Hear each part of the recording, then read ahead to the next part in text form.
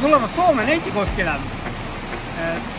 harjutamine on väga mitmekülgne spordiala, et äh, väga palju erinevaid distsipliine.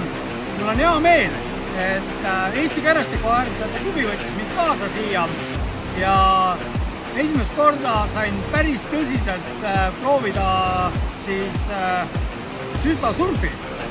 et ma olen varem seda kuulnud, ma olen varem tegelikult siin ka käinud, aga selle õige paadiga, kui sul ikka õiget riista ei ole, siis seda tunnet kätte ei saa.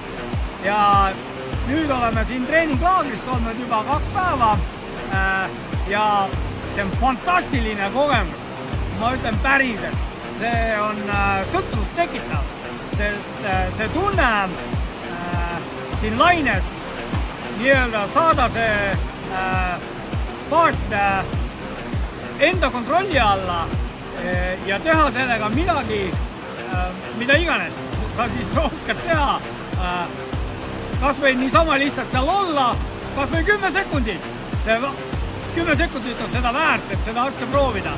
nii et julgustan kõiki võtma ühendust Eesti Kärjestikuharjutajate klubiga ja tulla lihtsalt proovima meil Eestis selliseid laineid ei ole.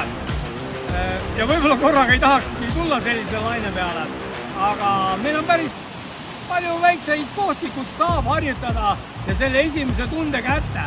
ja ma ütlen, et äh, kõik, kes äh, sõidavad ka maratoni, mida iganes, mida rohkem erinevaid süstadistsipliine sa proovid, seda tugevamaks ja ägedamaks sa saad.